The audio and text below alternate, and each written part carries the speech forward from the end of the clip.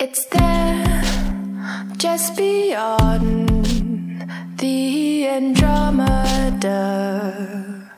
We're stargazing.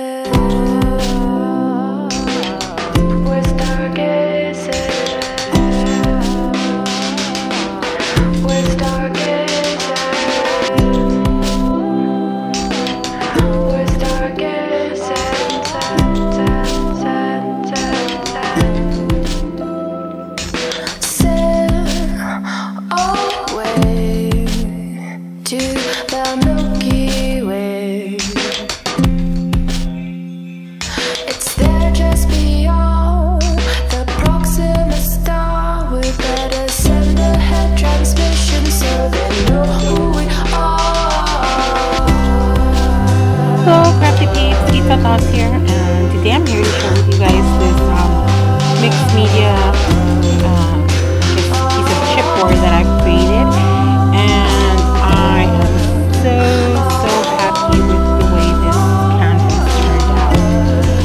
it's on a 12 by 12 piece of thick uh, chipboard, which I then covered with one layer um, on the whole thing one layer of um, used dryer sheets. Um, you guys are going to want to save all your dryer sheets so that you can create awesome, awesome textures and backgrounds like the way I did here with this project. So, um, my raw chipboard, I added one layer of dryer sheets. Um, and I'm using my all-time favorite um, gloss gel medium. And I use that to adhere the uh, dryer sheets to the chipboard. And on top of that I sprinkled um, my own mixture of glitter all over the surface which you can see there's some spots that just kind of glitter out a little bit more than others. And I kept the background very basic very simple because I wanted the focus to be mostly on this beautiful um, girl that we have here.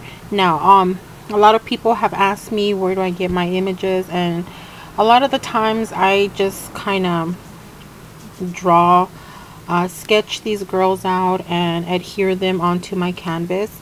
And once they're adhered using this wonderful wonderful um, medium um, it allows me to then come back with markers and pens and whatnot.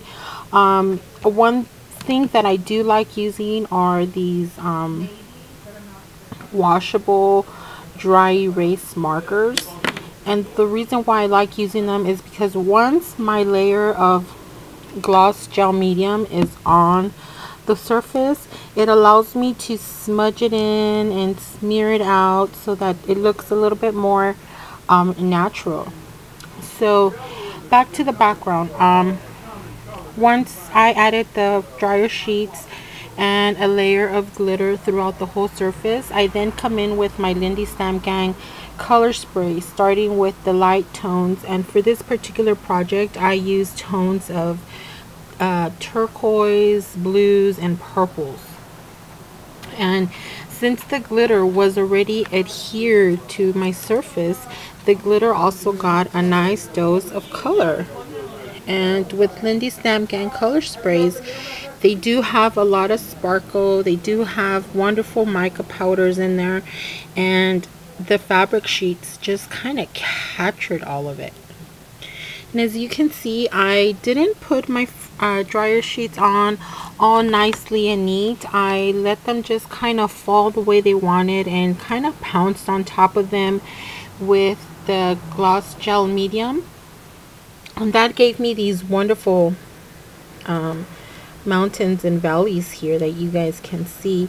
And all the mica powders, you know, attach themselves to the dryer sheets nicely giving them this wonderful wonderful sparkle. I don't think the camera is truly captioning just how sparkly this uh, project is but it's it's fabulous. And then once you heat set everything after I spray one or two tones of color sprays I heat set them so that all my color sprays don't kind of blend into each other creating a big puddle. And they stay nice. And you can see here the different shades of light um, turquoise and purple here.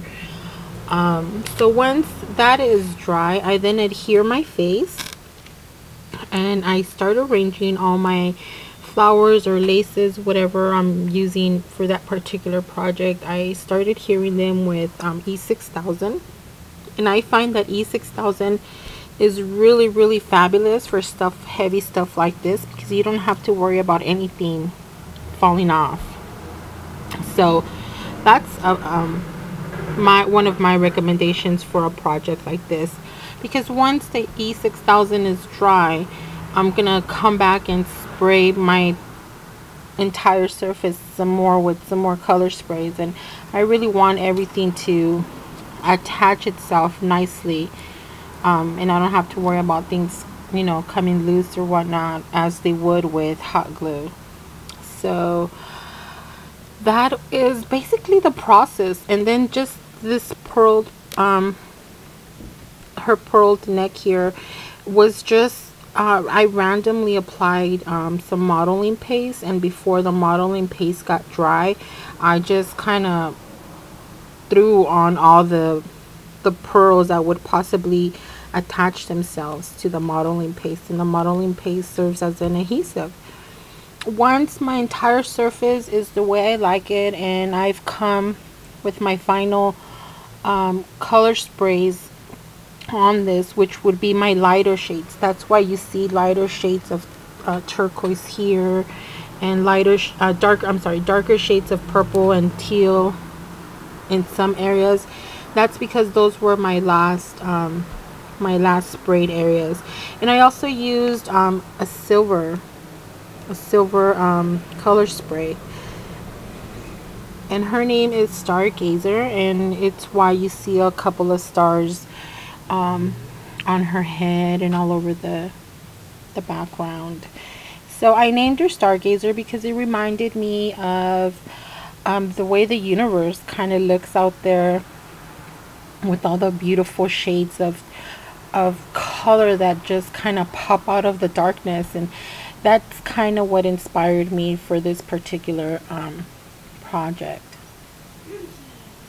So once I'm happy with the way everything looks happy with the way um, my background looks and everything I kind kind of come back with this wonderful medium here and I pounce it. I don't brush it on. I pounce it on with my brush so that I don't blend or mix up any um, any of the color.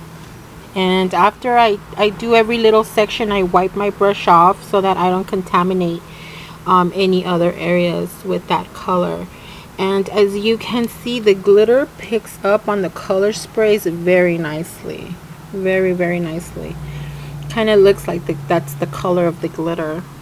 But it was all just different shade um, different sizes of white glitter uh, clear glitter and a couple of um, tablespoons of um, Tim Holtz uh, sticky embossing powder which allows the glitter to kind of attach itself to the surface once it's heat set so I don't have to worry about any of this glitter coming off and uh, spreading all over the place. Here as you can see once you heat set some of those dryers they do uh, tend to shrink a little bit. And I don't mind that. I kind of like that extra extra um, texture on there and another positive thing about using the dryer sheets is that as you're heat setting it your whole surface smells really good. It smells like your dryer sheets. So talk about smell good art huh? Well there you have it guys. That's kind of the process that I go to uh, to create some of my mixed media um, canvases. And I hope you guys have enjoyed this one because I had tons of fun creating her. So till next time stay posted and I'll be back with some more crafty projects. Talk to you guys later